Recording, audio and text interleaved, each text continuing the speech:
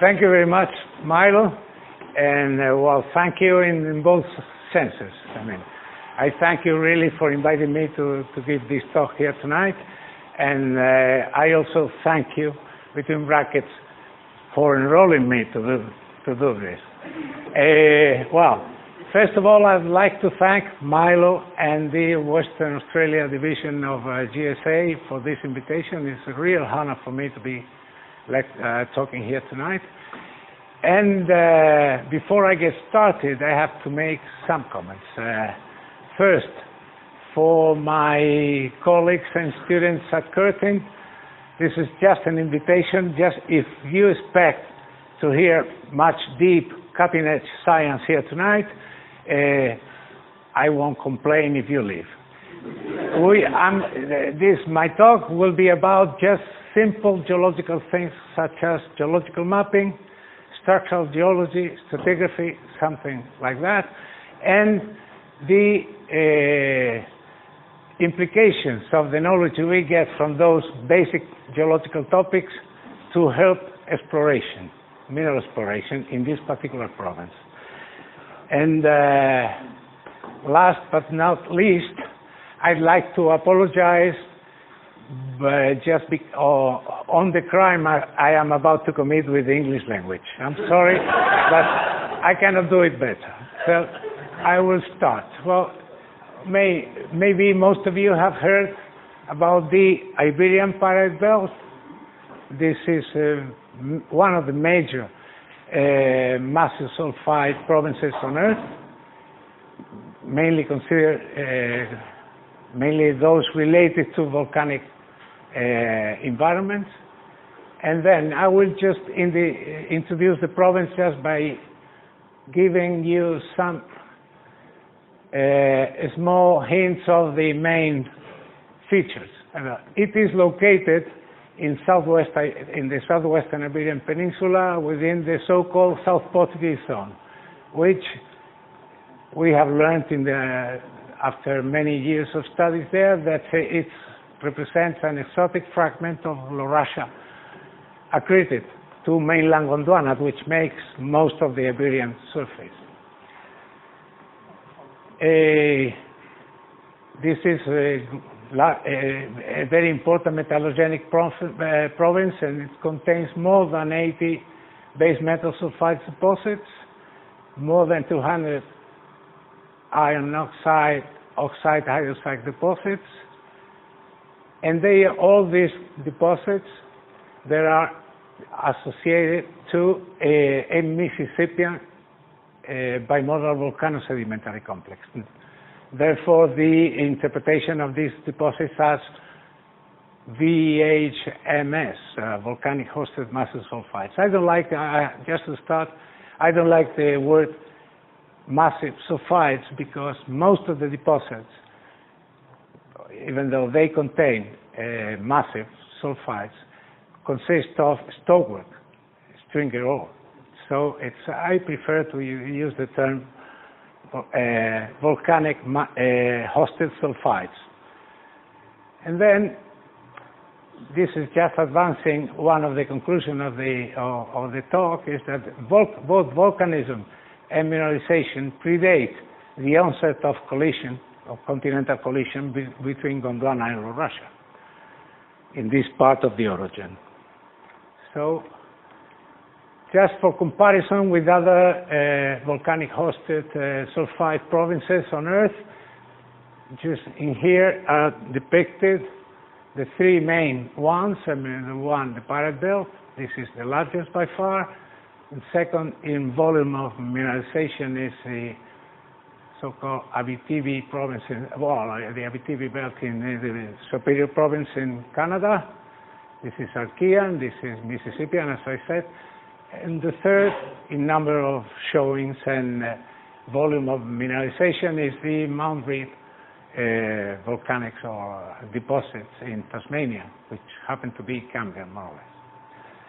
If we compare the total amount of ore estimated. This, I must say, this is old-fashioned and, and, and, this is outdated for sure, but you can see the difference. This is the Iberian Pyrite Belt, by far much larger metal contents than the other two provinces together.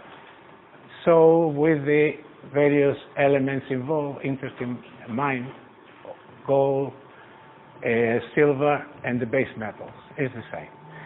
But everything, uh, everybody would believe this is good news. It was, it would be good news if the, the grade in the most deposits was high, but this is not the case, as we'll see later on. Okay, this is just to show you the uh, geological map of the Iberian Pyrite Belt in uh, the Spanish part of the province. It's the province extends from occupies the southwesternmost tip of Spain and the southern tip of uh, Portugal. This is only the Spanish part of it. You can see every dot or every circle here is a deposit, quite a few.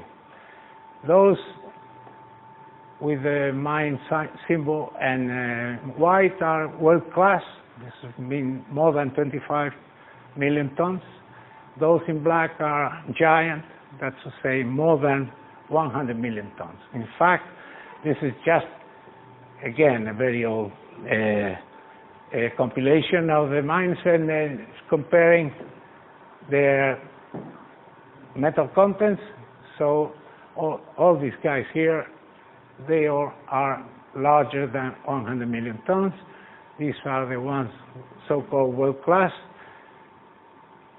Important to mention, this guy here, this is the Rio Tinto deposit, or deposits, I should say, which alone add for something like 700 million tons, just in a single deposit. So this is not alike common uh, volcanic massive sulfides, but this is, these tonnages are more typical of sedimentary environments. But, well, in here, that's the case. Okay, let's go a, a bit further. Now I'm going to make a telescopic approach to the geological context of the metallogenic province. And I will start by looking from the space station somewhere. And, uh, I will concentrate, this is a very nice cartoon drawn by Damian Nance, uh, co-workers a few years ago to account for the formation, for the amalgamation, final amalgamation of Pangaea. And uh, well, the record of this is the amalgamation of Pangaea resulted from the collision of a northern continent, Laurussia, as you know, with Gondwana, a southern continent, and the suture, well, if you want to call it at this distance, that's the suture zone, is the, so, the broad Ouachita Alleghanian or Appalachian Variscan belt across it. We are located right in this corner in the uh, in the easternmost easternmost end of this graph orogenic or broad orogenic system, just right at the middle of Pangaea. Just focusing a little bit at the regional scale, we are within the so-called European Variscan belt or orogen, which is very, very nicely shown in this cartoon. Uh, it has two main elements, structural elements. Oh, sorry. A, that happened to be this huge arc or orocline or whatever you want to call it. I prefer the word arc for this, the so-called Ibero-Armorican arc, and another one smaller inside but tighter at the easternmost end of the belt in the Bohemian Massif.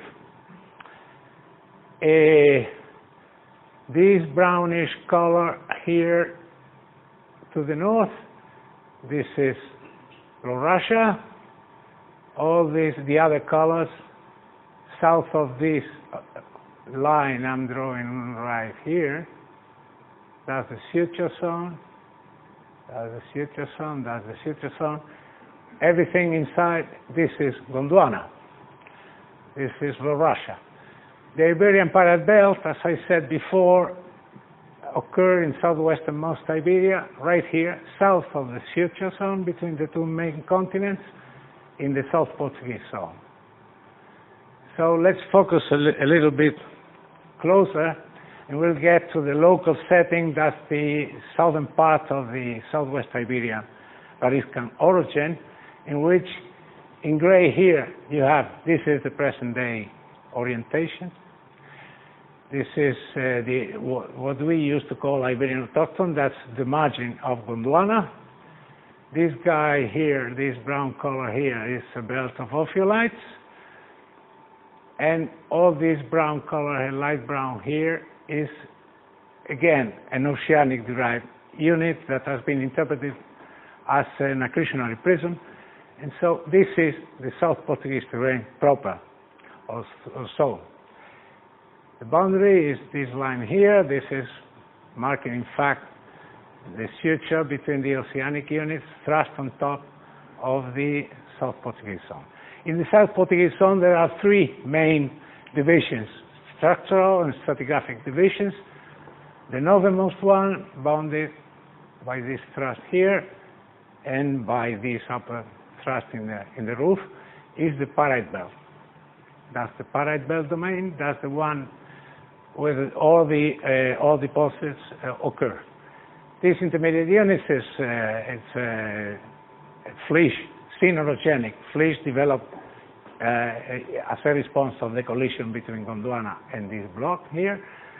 So it's uh, something that overstepping is overstepping the pre-existence stratigraphy.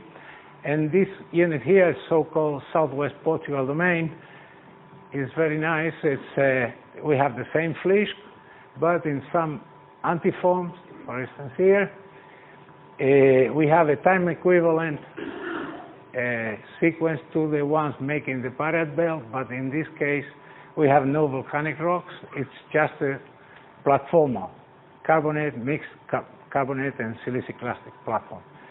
We'll see that a little later. Okay, what's the present day structure? Well, these are interpretations based on these two guys on a uh, very old uh, refraction seismic profile shot and by people at the ETH, ETH in Zurich many years ago.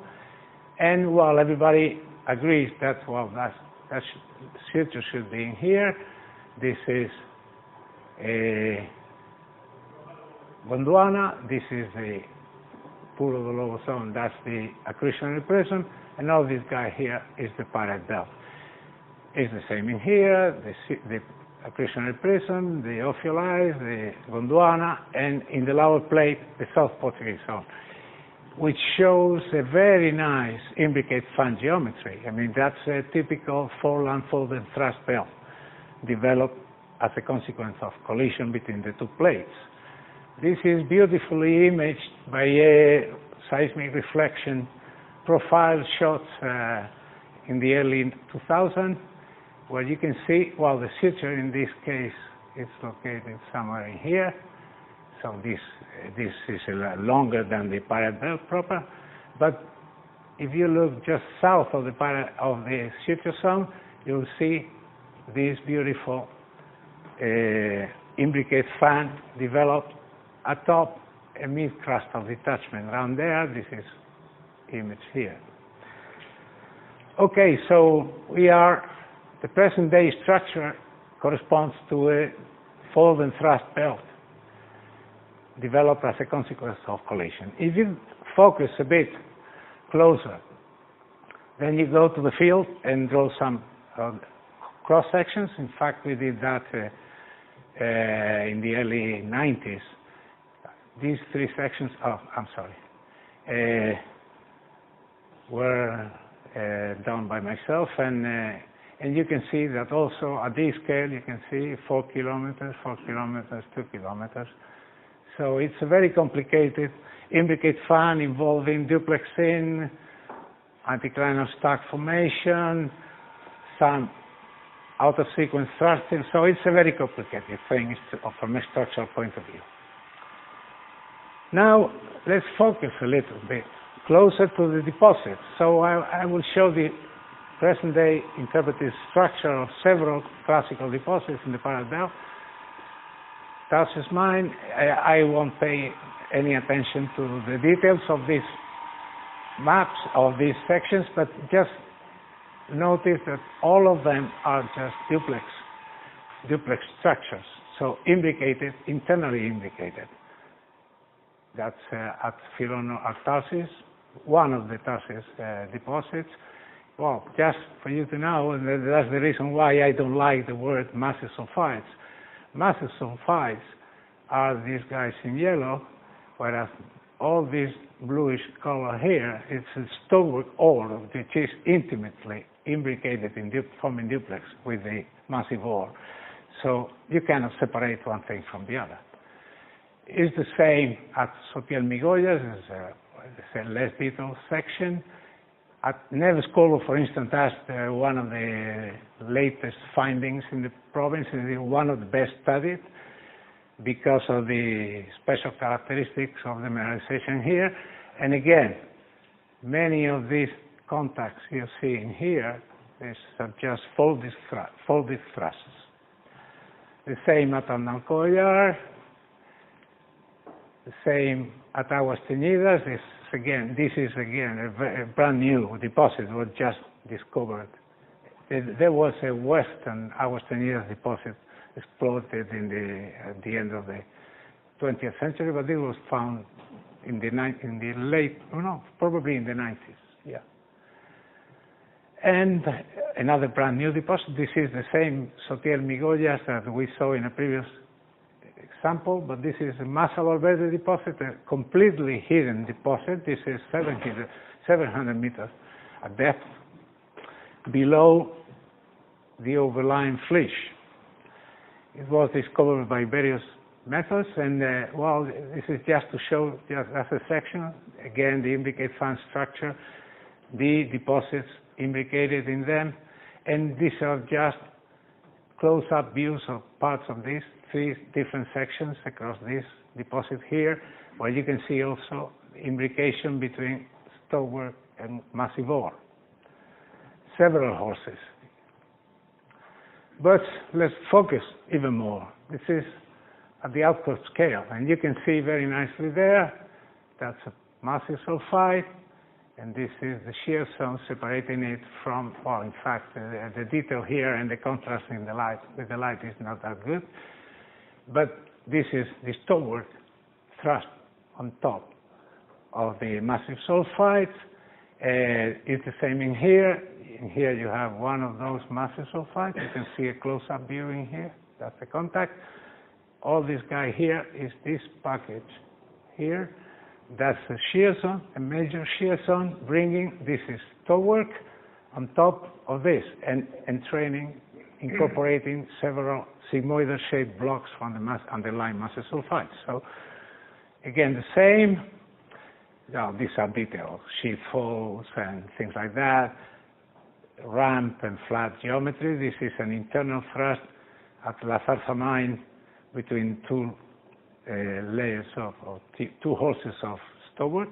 All these darker color here are the stockwork veinlets, and this is a, a thrust of the stockwork on top of massive sulfides. So I am showing this kind of relationship because one should expect just the opposite. I mean, the stockwork, the feeder stockwork, being located under, beneath the massive sulfides. But uh, very frequently you see just the opposite relationship and this is not primary, of course, this is due to tectonics. If we go even deeper, at the closest view, you can see, well, all these guys here are just shots of shear zones developed within the massive sulfides themselves.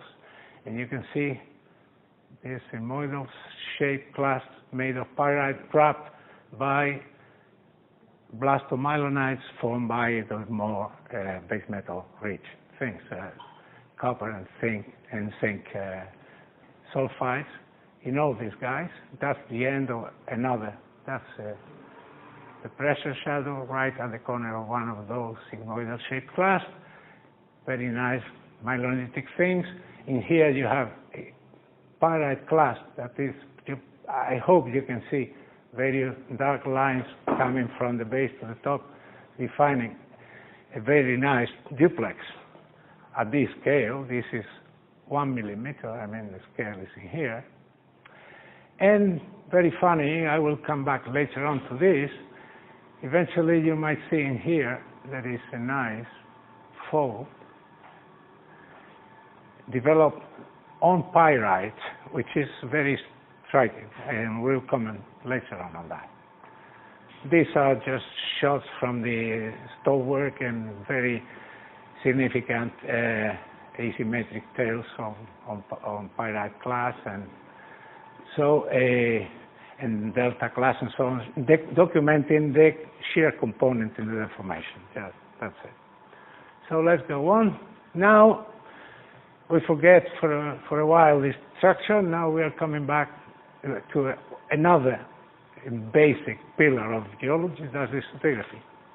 As I mentioned before, the South Portuguese zone contains, includes three main structural divisions and stratigraphic divisions, the Pyrite Belt in the north, the Baixo Alentejo Flysch domain in the middle, and the South Portuguese domain in the south.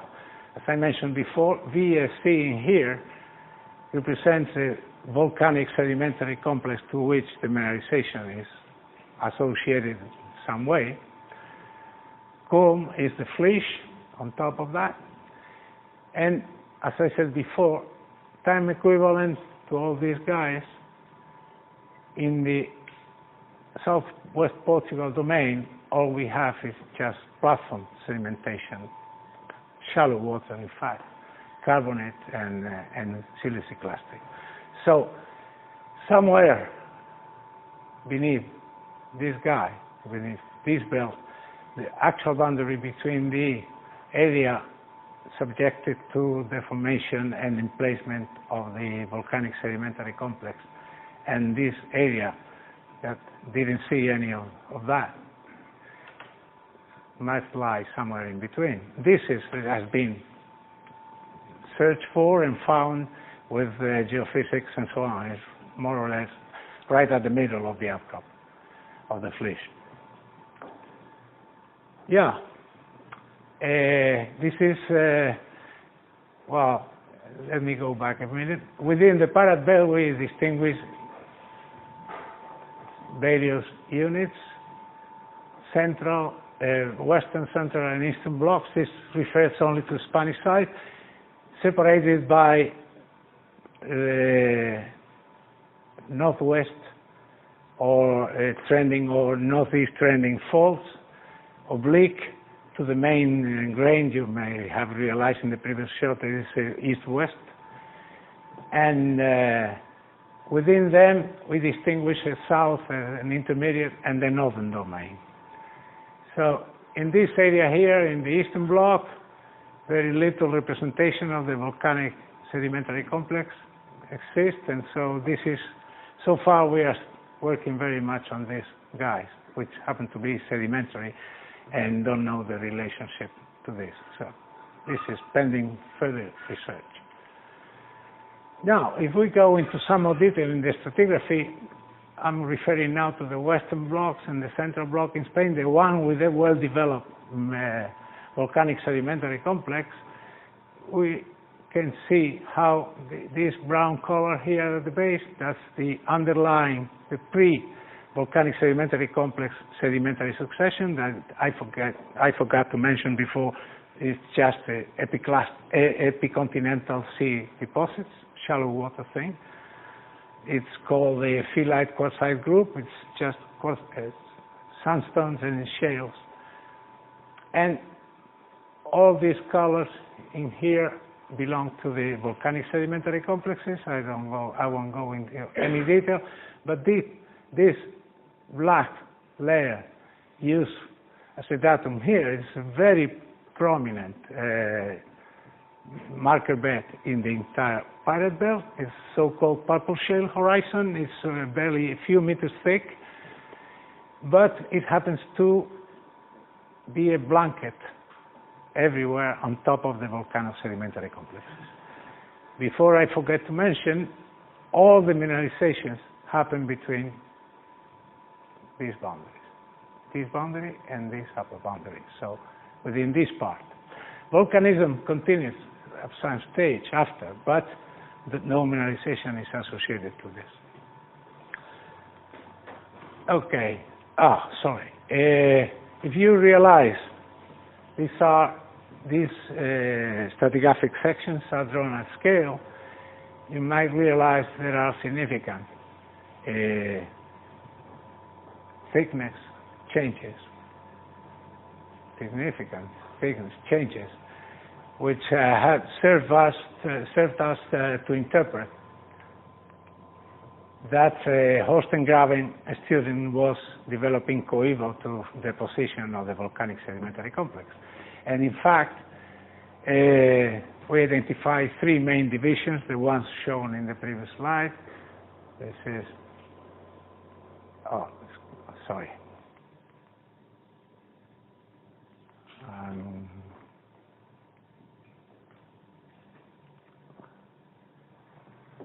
intermediate domain, uh, this is, I uh, can read, this is northern domain, southern, or southern domain, northern domain.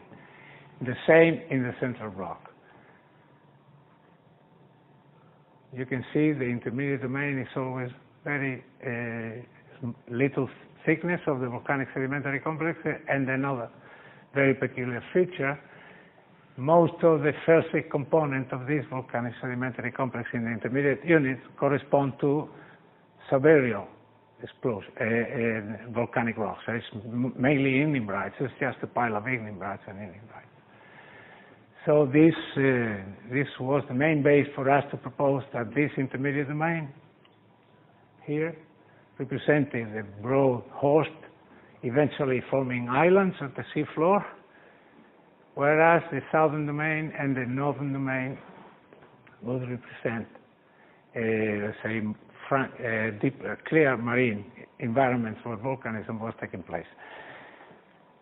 Another interesting feature on the stratigraphy here in the southern domain is that we have uh, the, the, sedimentary component uh, in the volcanic sedimentary complex contain, include also uh, some mature quartz uh, siliciclastic rocks, quartzites or quartz arenites, which uh, most likely derive from the continental source or from coastal areas.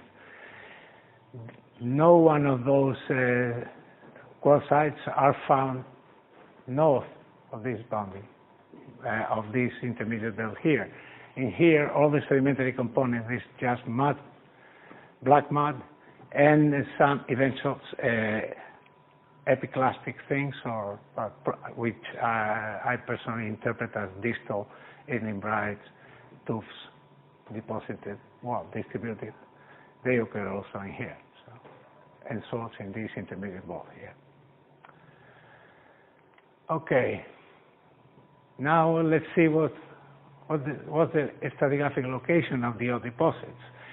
This is again from an old paper, but it's uh, good enough to show that many people have, have been claiming, mainly in, since uh, uranium lead dating started to be produced, that most ore form in a, or all the ore form in a single mineralization stage, but this clearly shows this as real uh, stratigraphic section uh, in the areas of various deposits. In places you have just one layer but in many others you have two or different stratigraphic locations. So there are several episodes of uh, general age. General age. This is the purple. I don't know if you can see the purple color here. It's very faint. I'm afraid. This is the purple shale horizon, just blanketing the entire province. This is we have very nice uh, absolute ages now from volcanics intervening with it at 340. And the oldest so far volcanic, uh, uh, so far dated volcanic rock is something like 557, something like that. So it's lower part, Tournaisian Elevisean. That's, uh, that's the bracket we have. So in between, if you would, five, 560 and 500, and 540. That's the, What is three sixteen? oh, sorry, 360. I'm used to work with the Cadomian belt, and in there is five. The same number, but 500. So this is, The number, the range? the, the range is in between 360 and 340. Three sixty, three forty. Yeah, that's the range. Yeah, that's the range for the volcanic rocks uh, in the volcanic sedimentary complex. Sorry? 35 minutes. Okay, thank you. I'll go. This is uh, just a model just to account that the, uh, for the uh, um, enormous amount of metal delivered to the to the sea floor. Uh, this guy, Marcoux, and some other co-workers uh, from BRGM proposed that uh, the whole upper crust must be involved, must have been involved in uh, hydrothermal convection, allowing for the uh, allowing the just to dissolution and precipitation upwards uh, along these faults here, and. Uh, the, the, it happens that the, most of the faults have been used by both by the volcanism and by the hydro, for the hydrothermal discharge. Okay, let's go a bit faster. That's just a classical example. I, I'm only, I will put only the emphasis in showing the feeder stockwork beneath a massive sulfide form at the seafloor and the uh, minerals uh, alteration associated to it. An inner, proximal chlorite-rich alteration halo and a distal sericite-rich alteration halo. This is important for, for the next slides. Well, these are just examples of the stockwork. In uh, well, this particular one is taken in Rio Tinto, and uh, this is an, a- in a oxidized part of the one of the rock of the deposits. Which type of mineralization do we have? Do, do we have in the Pyrite Belt? Well, most of it corresponds to the brine pool type. They are associated to black shales in most cases. Uh, they also occur associated to volcanic rocks, but they are generally interleaved with black shales. So we favor this kind of deposit. And in fact, Mike Solomon and myself many years ago posed the, the weird idea that this kind of deposits forming roughly collisional environments, whereas this kind of, uh, let's say, the black smoke type mounts, uh, typical of Kuroko deposits in Japan and so on, forms in back-arc environments or eventually in mid-ocean or near mid-ocean ridges. I mentioned before the alteration halos, and uh, this is uh, one of the main tools to, for exploration. You may not see, this is Rio Tinto mine again, the Corta Atalaya open pit. This is a massive sulfide body. All this area is stockwork, all this area is stockwork too. But this, in here we have the internal part, so uh, chloritic part, this is the external halo, uh, rich in sericite. People would say, well, first of all, well, deep is towards the end of the room. This means that this is on top of this, this is on top of this, which in turn is on top of this. In fact, you are looking at very nice duplex structure. All the contacts here are faults, and this particular one here is uh, one of the transfer fault linking this uh, this part here to this part here. A- again, just imbrication. Another kind of alteration uh, that's very useful for exploration uh, is for sure the epigenetic evidence for oxidation of the deposits, the formation of gossans. This is a, oh, sorry. This is a very typical example. That's, uh, I think it's at Peña del Hierro mine. You can see how alteration progressed along fault planes and so on. Again, very useful tool for exploration. Now, what is the space relationship of all deposits and regional faults? Well, this is again, it's just a map showing the faults. I, I, I guess the people in the end of the room will not see the various colors showing the various orientations, but just all this, the main grain that east-west thing correspond to thrusts, the other are just nowadays lateral ramps to them. So they have, if you see the frequency of deposits in relation to the distance to the regional scale faults, you'll see that the vast majority of them are at less than 200 meters from major faults. Uh, this is not just by chance. And if you look at the orientation and the type of fault we're dealing with, a vast majority are as close to the thrust, the east-west thrust. Again, we are interpreting the stratigraphic evidence suggested that we were, at the time of emplacement of the volcanic complex, uh, we had extensional uh, tectonics, Horstengraben things forming. Now we see that the deposits, which we believe just were formed along those very same faults, now occur close to the thrust.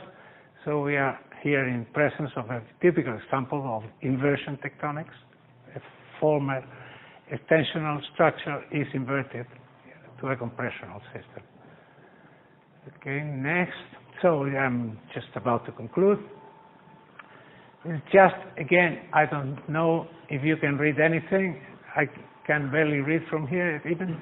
Well, the main characteristic of the sulfides, mainly the massive sulfides, they are they have very low base metal contents relative to other provinces, with small exceptions in the northern in the northern part, northern belt, with mainly consisting of medium-sized to small deposits, which happen to have, to have much higher grades, and the Neves-Corvo deposit, which is unique because of the very important uh, tin ore there.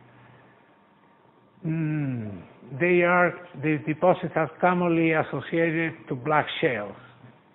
Some of them are also associated to felsic volcanics, but none of them to the mafic volcanics present in the in the sequence. Some deposits predate even the eruption, the first eruption recorded in the in the sub-basin where they formed. So that test, testify for the coeval nature of hydrothermal discharge and volcanism. In places, volcanism predates the uh, metal deposition. In other places, it's just the other way around. All the deposits are structurally imbricated at various scales, both internally with the stower and even with the host rocks. I can read. Well, the, as a consequence of this, a significant aspect, aspect ratio change took place in many deposits, mainly by thickening due to the formation of duplexes. So everything, all the deformation at the present days of exposure occur at, under green schist facies conditions. There is no obvious mineralogical or geochemical zoning in, in the deposits.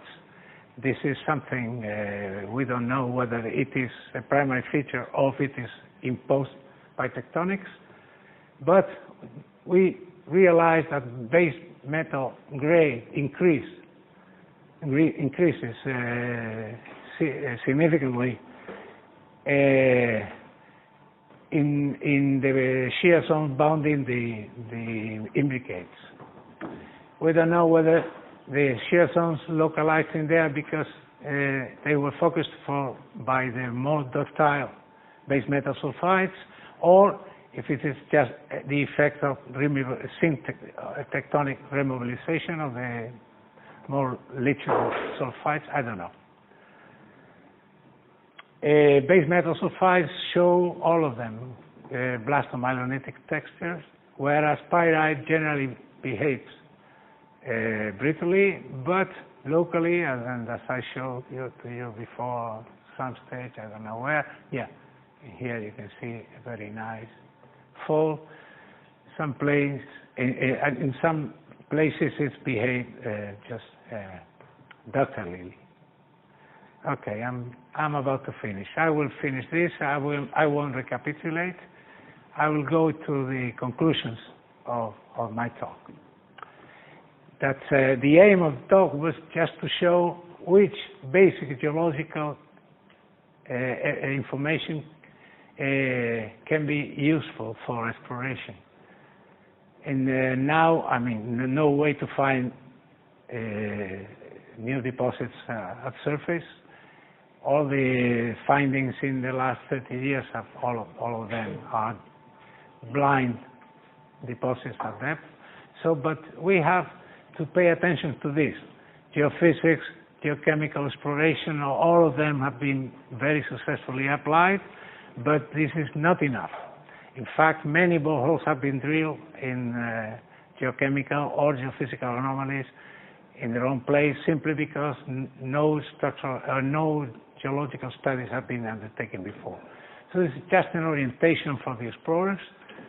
Concerning the stratigraphy, we must acknowledge that most all deposits occur within or immediately predating the volcanic sedimentary complex. So when the, this guy is exposed, that's the way to, that's where we should look at. If it is not exposed, then we should look for it at that, some other means. And they are frequently associated with black shales. That can be also a, a good guide, even for geophysics, because these guys are very nice conductors. And the structure. Concerning structure, a structural mapping, I, I, hope that after my talk everybody would, have become aware that structural mapping is a first order requirement in, in this province. If you don't perform these kind of studies, uh, you barely will find anything. There is another indication is that all these, or most all deposits studied so far occur within or close to shear zones of, of fault zones. Another guide to, for exploration. This is, I, didn't mention that, but this is obvious, an obvious consequence. Whenever you find post-deformation mineralized hydrothermal veins in the surface, there is a chance that something underneath might, might, be, might, might occur. And concerning the alteration, it's already said. I mean, when, if you happen to see a gossan in the surface, uh, that's a good, good news, but this, I, I think that all of this has been already seen. and then mapping the distal or proximal alteration halos can be also of great help. I think that's all I wanted to tell. Thank you very much. This is a very